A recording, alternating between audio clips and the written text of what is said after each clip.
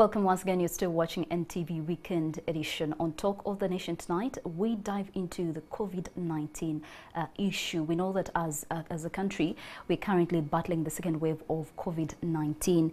And uh, with the surge in COVID-19 cases continuing to rise, really, the country has imposed a limited lockdown. However, with more people dying, there are also concerns about the mental health of people that lose their loved ones, but also those that tend to see, uh, I mean, on social media, you know, on their WhatsApp updates, the different people that are losing their battle to COVID-19. So tonight, we want to pick the thoughts of Alana Kembabazi, who is the program manager, Right to Health at the Initiative for Social and Economic Rights, to dive into what we're currently dealing with. And you at home, what should you be thinking about as we go about this second wave of the COVID-19? A very good evening, Alana. Thank you so much for joining us tonight on Zoom. Yes, thank you for having me, Sandra. It's good to be back. All right. Now, the question on most people's mind is we are dealing with the second wave of the COVID-19 pandemic and we are having 42 days into partial lockdown, you know. Uh, we have to go through the 42 days. Inter-district travel ban has been imposed and we're seeing children getting back home. Do you think this is the right thing for us to be doing at the moment? Will it address the issues that, at hand, that we have at hand now? Absolutely. What has happened in the last two weeks is terrifying. It was, however, expected. If you recall that uh, as of April, the towards the end of April, we had discovered the variant that originated from India. We saw the devastation it was doing there. And government was supposed to have been on alert and, and, and ready to expect this surge. Now, with schools closing, and we, we've now realized that there were a lot of COVID cases undetected with that little testing and little oversight by the Ministry of Education and Health within schools. And with schools closing and sending all their kids back home, the numbers are bound to rise. Um, right now, there's a lot of anxiety. If you're like me, every time you open anything, messages, social media, phone calls, it is someone you know or love who has died or has been affected by COVID 19. And the government has talked a lot about following the SOPs, but we know that there's only so far the SOPs can, can mitigate this disease. The real question on everyone's mind is what has government been doing? Uh, we a year ago or so, we got the first case and we were terrified and money was put together and budgets were appropriated and luckily, the surge was not as bad as some thought it may be. So we, we got some time to really prepare. So the question on everyone's mind is the ICU beds. You know, this is a surge of a thousand something cases a day, and it's bound to get worse. But already at this point, people are failing to get ICU beds. People are struggling to get oxygen. They are failing to get oxygen in public health facilities and are dying as a result, particularly um, upcountry. And we are also seeing them over here rushing to private facilities to try and get oxygen where they are paying exorbitant fees for this. Uh, you know, we, ISER's research has found people are paying in millions for cylinders, and then you get the refill every couple of days. Uh, people have been failing to get space, like I said, for ICU. And, and, and there's a sense of what is going to happen and many people rush to try and get a vaccine dose, but as you're aware, the doses have been very scarce. The implementation has been haphazard. For so long, they were saying priority groups. Then there was queue jumping while others were waiting. Then suddenly it was like everyone can go get it, but maybe they cannot. They say you go to Kololo, then Kololo is being used for, you know, Parliament, you know, the state of the nation and so forth. Um, so there's just been a lot of confusion and anxiety that proper planning could, could, could really have addressed. Um, and I, am particularly concerned about oxygen and, and the extent to which we are ready to make sure that people are able to be um, treated and handled because we do know that with this variant, that the that the the incidence, you know, that the likelihood of you advancing to need critical care is, is pretty high, and that is why it has been so concerning world over. So given the money that was appropriated and almost a lot of the supplementary budgets, there was always something about ICU and oxygen. We need to hear from our government our progress on getting ready for this surge. how, you know, we've had a lot of, of, of, of, talk over the last couple of months, right from even the Office of the Auditor General's uh, audits about whether or not ICU units that were supposed to have been set up have been fully set up.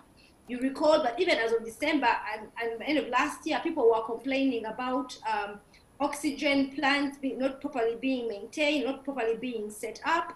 And right now, uh, you know, we are aware that the people who are the hospitals where they don't have maintenance, like Masaka and so forth, for the oxygen uh, plants. And this affects the lower units because the oxygen plants are supposed to be installed at the regional referral hospitals and to feed into the uh, lower. Uh, oxygen cylinders have sometimes been stolen, and we know that recently in the media there were stories about that, uh, which is leaving people who don't have means um, just unable to get the care they may need. Mm. But even those who have means, how many can afford? I've been seeing reports getting to me about people paying about 70 million for three days. How many of us can afford that? All right. So we uh, really need that Alana, I do want to uh, cut you short on that, and I want us to specifically speak about the mental health, you know, uh, that, that people are currently having at the moment, if I'm, I am to put it that way. I did see your tweet where you mentioned that for every single time you log into social media, um, you will see rest in peace. There's so many, you know, it turned from people we didn't know, and now it is coming close at home. It is hitting home.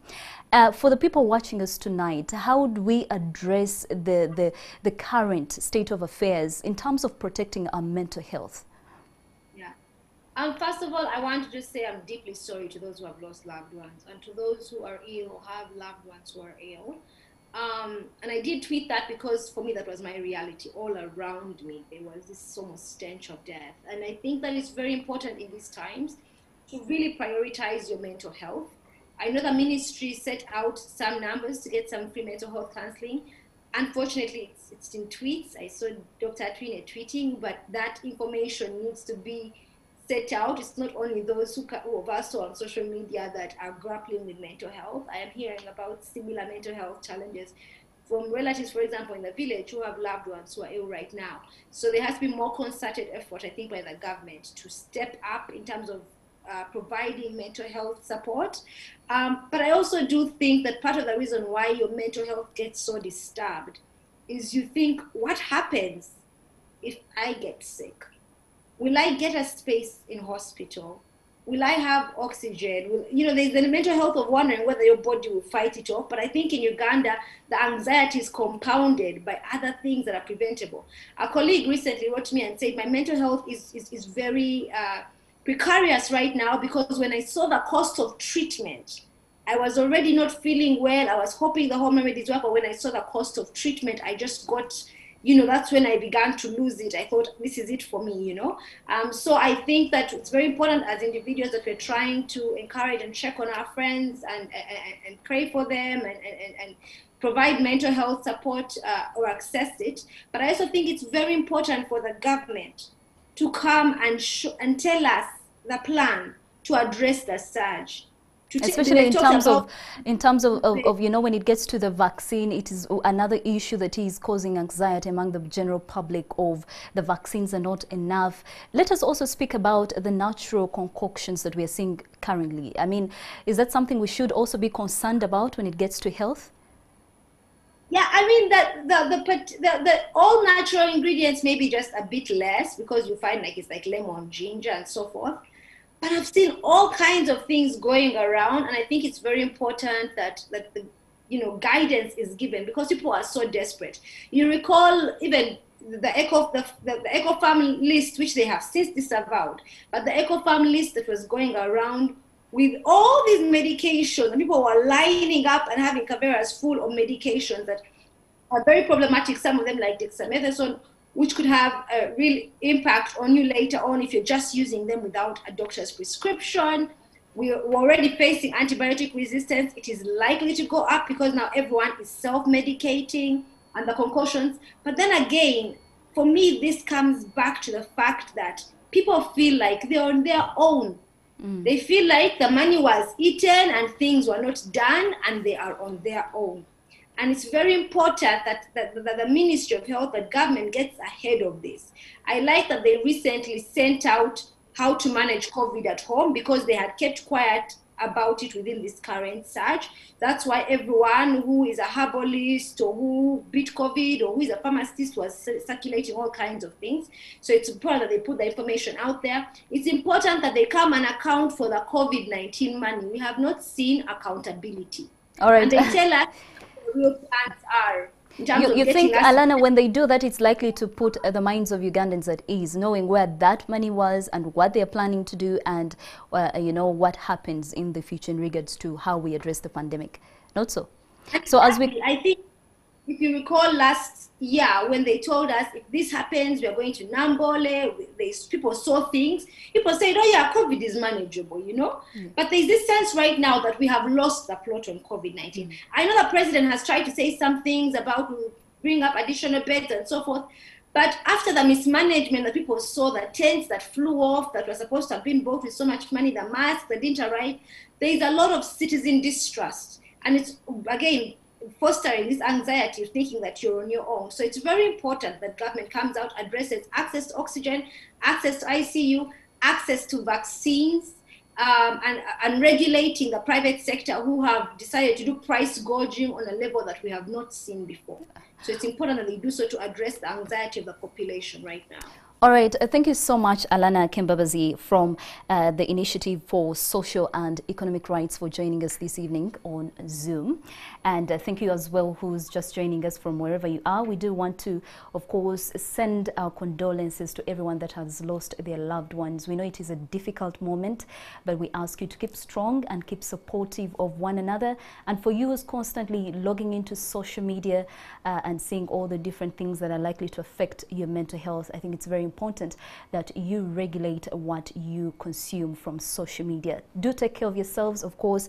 Continue to uh, exercise and do the necessary uh, precautions that are needed. Wear your mask, sanitize, and avoid crowded places. We are in this together, and we can dress. We can, of course, uh, address the situation at hand. It will definitely get better. You're still watching NTV Weekend Edition. We'll take a short break, and we'll be back.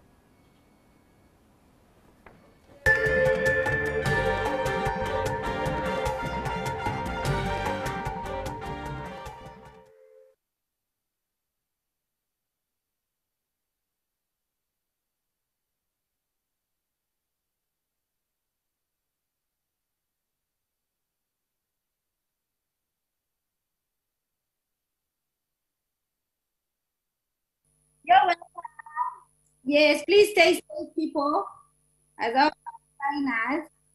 And please